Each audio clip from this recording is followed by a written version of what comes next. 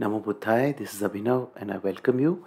In this video, I am sharing my learnings from the Middle Discourses 67. Title of the discourse is At Catuma. The link to the entire discourse is given in the description. Now, this discourse basically talks about it's uh, directed towards mendicants. Mendicants means people who have le- left their lay life uh, and moved into a monk life. So, what are the four dangers for those people?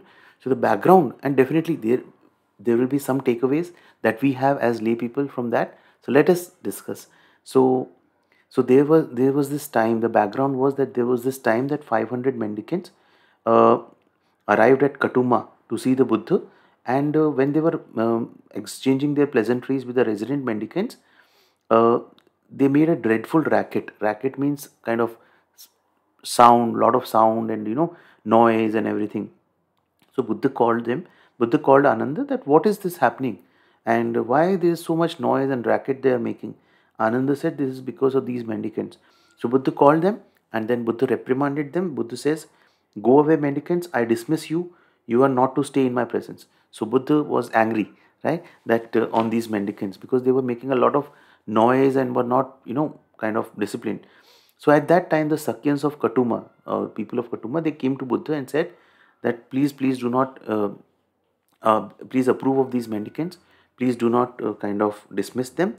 And they gave the analogy of like seedling that if a young seedling doesn't get water, they may change and fall apart. Or if a young calf doesn't get to see his mother, its mother, it may change and fall apart. Then Brahma, Brahma came to the Buddha and said that no, no, please, you approve these mendicants and uh, uh, just forgive them and uh, that way. So then Buddha got convinced. Buddha said, okay. Then uh, Buddha, uh, then Buddha said to uh, Sariputta and Mahamoggallana, one of uh, two of uh, his chief uh, disciples, about the four four dangers of uh, so for when you go into the water, you should anticipate four dangers. So what for? The danger of waves, marsh crocodiles, whirlpools, and gharials. Similarly, there are four dangers for anyone who that similarly a gentleman who goes forth from the lay life to homelessness in this teaching and training should anticipate four dangers. And this is uh, apt for those people who for whom the monk life seems very kind of a fascinating and glamorous and no, not glamorous but very fascinating right? And i was one of them right? Uh, but then the dangers to a uh, uh, to a monk life are more than as a lay people because the rules and regulations that they have to follow are even much more right? So what are the dangers? The first danger is the danger of waves. So the danger of waves buddha explained is that the the person goes fro- forth from lay life to hap- homelessness and uh, he says that hopefully i can find an end to this entire mass of suffering that i have. And then uh, there are mendicants there who instruct them the existing mendicants who are there they instruct them that how to you should go like this come back like this you should look to the front like this to the side like this you should contract your limbs like this and extend them. There are a lot of rules actually in a in the monastic code lot of rules are there.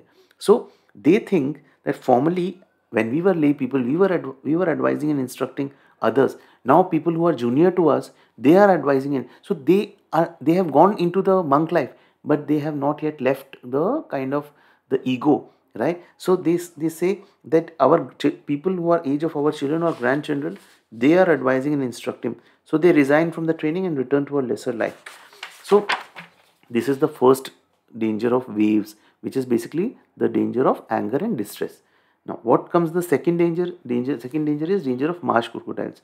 So here buddha says that the person goes into the uh, uh, as a monk becomes a monk but then they find their spiritual companions advising and instructing them. You may eat consume taste drink these things but not these things. Only eat at this time. You don't eat at night time or a wrong time. So then they think that earlier when we were lay people we used to get all these foods and uh, delicious foods and and prepared and we can we could eat anytime. Now these mendicants uh, are imagine they can gag our mouths and then they basically resign the trading and return to a lesser life. So the second danger of marsh crocodiles buddhist uh, it's a term for gluttony. Gluttony means excess of indulge in excess in eating or drinking right? So that's the second danger of that thought. So buddha is highlighting the thought process that the, the, the dangers are. And because of those thought processes they return from the monk life to the uh, lay life. Third danger third danger is danger of whirlpools where uh, when they go to uh, alms to beg for alms without guarding their body speech and mind without establishing mindfulness and without restraining the sense faculties. Then they see a householder or a child amusing you know uh, some uh, father and son playing the, between themselves and they see the the you know people who are in family life they are supplied with all the five types of sensual stimulation. They see all these things and then they see that you know i could have enjoyed my wealth and make merit and these kind of thoughts come in them and then they resign back to the lay life. That's the third kind of danger which is the five kinds of sensual stimulation. What are the five kinds? Sights sounds ears smell touch right? Pleasures through the five right? Then for fourth is the danger of ghadiyals. What are the ghadiyals? That they uh, robe up and they go to take alms enter into a village or town without guarding their body and mind without establishing mindfulness without restraining the sense faculties there they see a female scantily clad with revealing clothes. Lust infects their mind. So friends if it's a, if if your mind is not powerful right? Imagine a scantily clad female right? And and you, you see her right? If you are male you see her. And then you know that lust seeds of lust rise. This is this is exactly how it is and all everything just returns and they resign back lust infects their mind and resign the training and return to a lesser so the danger of ghadiyals what is a ghadiyal it's referring to the females right? Similar way in case of a nun it can be a male right? But that's the fourth danger. So, so this is the fourth danger basically uh, buddha said about people who move from lay life to homelessness. Now the lesson for us is that be mindful as we go about our so we are lay people definitely uh, so uh, right?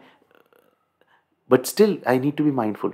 I need to be mindful of my mind my, my mind. If uh, should, it should not generate thoughts of ill will hatred lust. My speech harsh speech should not come out from my mouth. It should be kind and compassionate. And my actions bodily actions. I should not you know have incur violence towards anybody. I should restrain my faculties. So that things i should take care of at all times right? So it's though it's related to it's more inclined towards the mendicant but it has our lessons for us also. The link to the entire description uh, the this discourse is there in the description. Do read it at your end. Whatever learnings or insights that you get do do share it in the comments section also. And i hope this was useful. Thank you so much for watching this video. Namo buddhaya namo